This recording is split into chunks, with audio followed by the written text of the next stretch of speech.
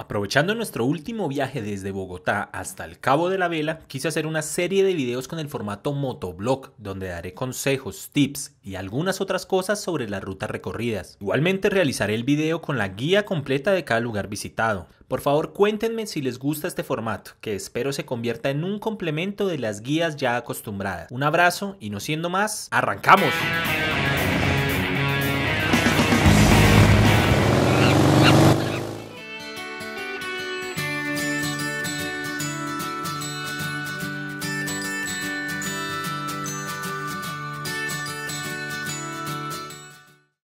Estamos ya sobre la carretera de La Vega hacia Villeta.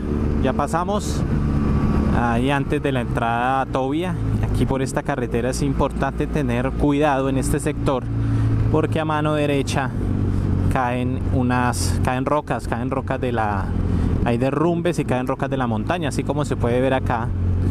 Aquí está señalizado, pero mira aquí cómo caen pero eh, en el momento que caiga una pues puede rodar hasta el carril de la izquierda. Entonces toca ir con mucho cuidado muy pendiente. Esta es una ruta que preferiblemente eh, pues no se debería hacer tanto de noche aunque pues todos sabemos que los jueves todo el mundo hace su tal billetódromo pero por ese sector que acabamos de pasar de rocas de, eh, de caída de rocas es mejor tener mucho cuidado y sí, esta vía es muy, muy buena para hacer curvas, muy sabrosa.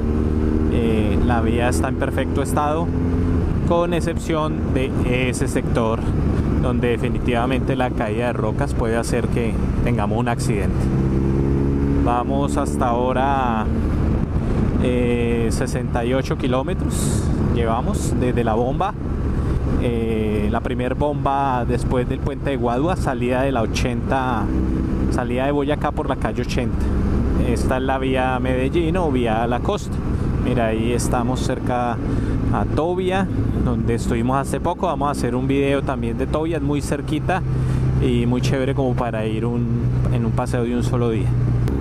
Bueno, aquí vamos, vamos subiendo el alto del trigo de Villeta a Guaduas. Aquí esta carretera para mí es una de las más complicadas del país por, pues, digamos que las curvas de por sí, pero el tráfico es una vía, pues como pueden ver, no es doble calzada y hay mucha tractomula, entonces hay que tener mucho cuidado pues al adelantar, aunque pues eh, toda es doble línea, ¿no? No debería adelantarse, pero pues para esos que adelantan, tener mucho cuidado y está, aparte de eso tener cuidado porque mucha mula y mucha flota se mandan a adelantar y se lo encuentra uno de frente. Esos son los que hay que tener cuidado. Entonces estar seguros de los sobrepasos de que tenemos el espacio y la potencia suficiente de acuerdo a nuestra máquina para adelantar. Yo voy mirando el Waze de todas maneras si veo algún retén aunque pues es difícil que aparezca pero aquí en estos donde vemos así como como espacios libres hacia arriba como montaña es posible que allá esté escondida la policía haciendo algún tipo de retén.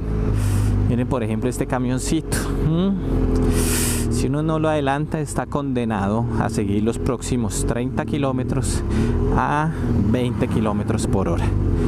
Esa es la dificultad de esta ruta de esta vía se supone que están construyendo el tramo de Ruta del Sol que va a evitarnos este paso. Pero mientras tanto, esto es un cuello de botella muy importante para los que van para Medellín o para la costa. Entonces no es fácil. Hay que sobrepasar con contundencia, con seguridad. Lo más importante en un sobrepaso es hacerlo con seguridad eh, y sobre todo si tenemos la posibilidad de mirar nuestro destino, ¿no? Si, podemos mirar el, punto al cual debemos llegar, está dentro de nuestra visión, es mucho más seguro que hacerlo en plena curva cuando no, no estamos viendo y no podemos calcular si nuestra moto pasa o no pasa. Voy a quitar las exploradoras. Ah, mire cómo nos vemos en el reflejo.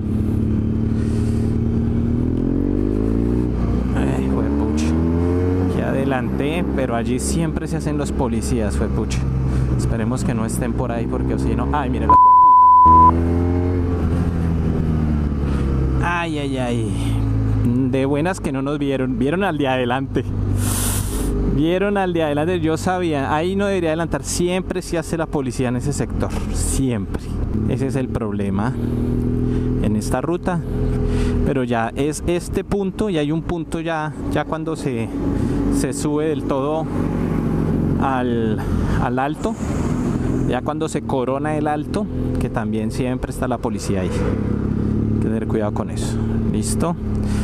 Esperemos que le reporte más adelante sin novedad alguna. Ya nos vemos. Aquí es donde se corona el alto del trigo, en la terpel. Aquí uno por los siempre hay espacio para pasar, pero ojo porque siempre, siempre está la policía. Entonces aquí es muy fácil caer y traen la grúa consigo. Entonces es mejor irse despacio, juiciositos. Siempre en este punto, siempre hay policía, hay diagonal a la terpel. Entonces por más de que veamos que está quieto y que nosotros tenemos el espacio para pasar por un lado, es mejor quedarse quietecito.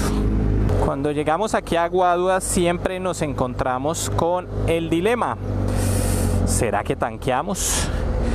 Yo eh, si veo el indicador de, de, combustible, pues tengo más de medio tanque y uno creería que, que, que, puede pasar, pero ya me ha pasado varias veces.